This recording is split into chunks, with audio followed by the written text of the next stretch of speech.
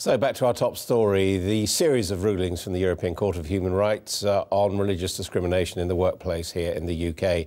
Joining me is today's winner, Nadia Eweida, a British Airways employee and the only one of four applicants uh, actually to be successful.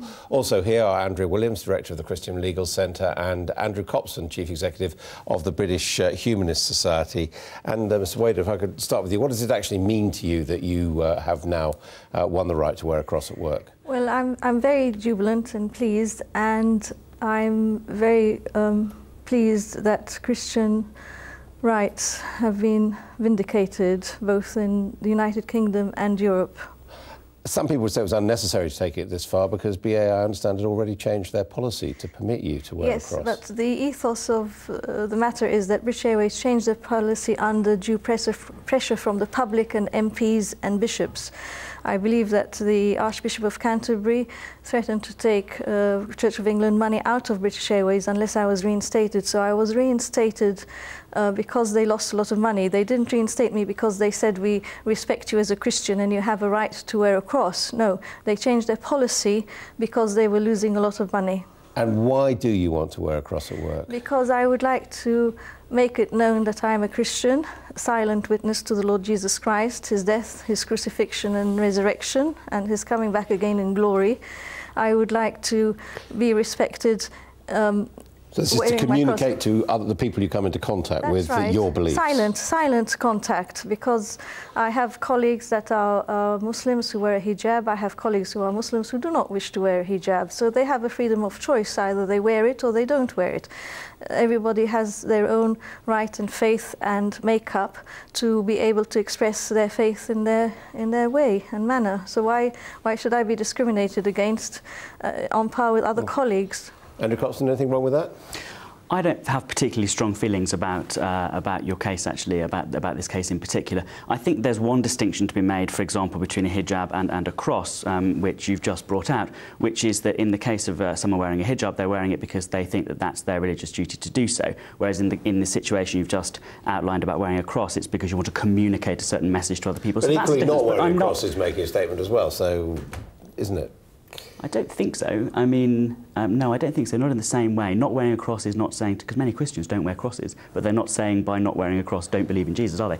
Um, but I'm, i mean, this is a less interesting case to me than, than the other three um, that were lost, because I think the important principle that the court used, and which I very much support, and which I think most people support, is to say, look, if someone wants to manifest their religion, that's their right in a free democracy. And you don't have a problem. And I don't have a problem with that. My problem is when that that manifestation of your religion starts infringing the rights of other people. So in the case of a marriage counsellor who won't counsel gay people, in the case of a registrar who won't um, perform oh. civil partnerships, in the case of a nurse who won't wear a cross on a, on a lanyard or a pin but on a chain, wants to wear it on a chain and that gets in the way of her, her duties as a nurse. They're the case I think which are more, more important. Now if, if, if it's not harming anyone, I actually think that people should be allowed I mean those are quite significant defeats aren't they, uh, those rulings in the European Court on, on that matter? Actually we've made some headway. In these rulings if you actually look at what's written in the, in the judgment. And so there is some good news.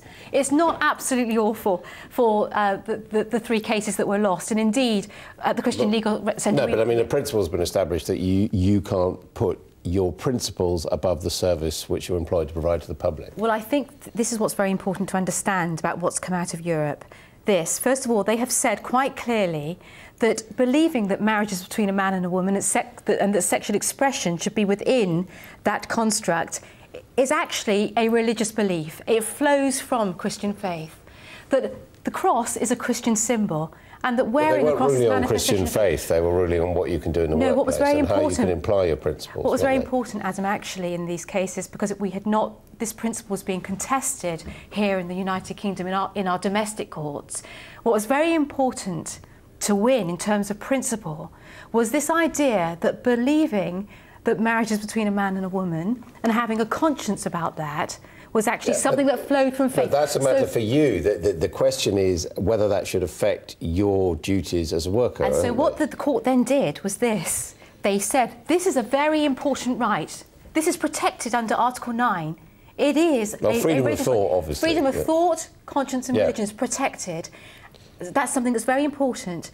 Now, we, now what, they, what we wanted them to do was then make create a balancing exercise at the European level. Because what we've found at the domestic level is that where there is yeah. a conflict of rights, the homosexual rights have trumped the Christians' rights. And in fact, what the, the European Court wanted to do, in, this, in, a sense, was just wash its hands of that. It wanted to say, we're going to throw it back to the domestic situation. We're going to say that there, there's a massive margin of appreciation.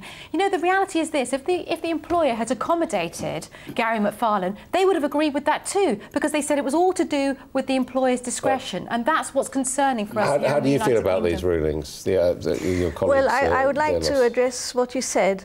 Muslims who wear hijabs wish to communicate also that they are Muslims because on occasions they would have they would fast and on occasions they would say sorry this is haram this is forbidden. Mm. So yes it is a form of communication to know that they are Muslims by wearing a hijab. No no no no more than a Christian wishing to communicate that they are a Christian but, by wearing a but cross. But how do you feel about the rulings against on, on these case questions of homosexuality and others, well, of people I, being able I, to apply their principles in their work? Well, I do, I do believe, and I do. I'm a great supporter of, of my of the other applicants, and I do encourage them to go to the European Court of Human Rights because everyone has a freedom of choice.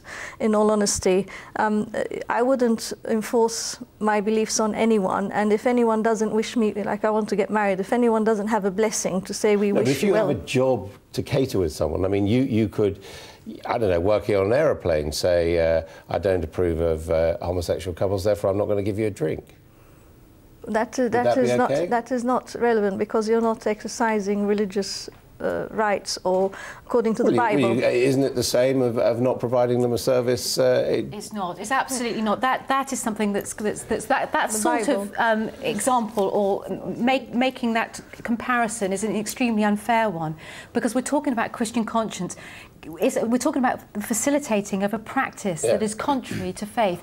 This is certainly not about serving drinks. And let me say this: in in all of our cases, in all of these cases no homosexuals. Well, ever, you know, no, we, no, we, we had the case, didn't we, of the people running the bed and breakfast, They've never example. been refused a service. Never been refused a service. So Lydia right. in the Islington, and this was found as a fact, in, in, yep. even in our courts, that um, Islington could provide a, a first-class service in terms of civil partnerships. No same-sex couple was ever turned away. Same with Gary McFarlane. Okay. It was only a hypothetical situation. Okay, I, am going to be talking in a minute to Eric Pickles, the Secretary of State for Communities. Now, mm. he's making a speech today, and he's saying in his view, uh, Alastair Campbell may cart, but we, namely the government, do do God, he says. Mm. Faith provides a clear moral compass and a call to action that benefits society as a whole. What do you think of that statement? Well, I think that his statement is pretty typical of the political wind that's been blowing around these cases. I mean, I see these cases as primarily political. They're lost again and again and again. They've been lost now for hopefully uh, the final time. And the principle has been established that one person's religious conscience, whatever that religious conscience may be, can't override the rights of others.